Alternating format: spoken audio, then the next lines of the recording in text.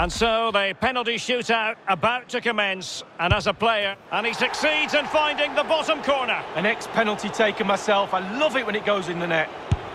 It went awry for him from the penalty spot. Well, 12 yards out, you have to make the goalkeeper work. And he scores. Well, don't they look easy when they go in?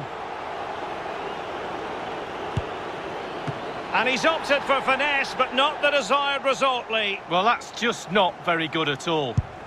And he's been denied from the spot by the post. Well, the goalkeeper's got three friends, two posts and a crossbar. And it's gone in. Well, the sweet sound of the ball hitting the net. And he's tucked his penalty away, Lee. Well, he held his nerve, simple as that. Well, the responsibility is on his shoulders. Failure to score, and they lose. And he's beaten the keeper. No doubt, head down, lovely strike. It comes down to this, a goal, and they win the game.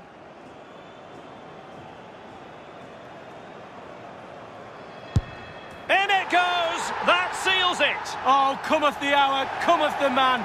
He looked confident when he stepped up to it, calm under pressure, great penalty.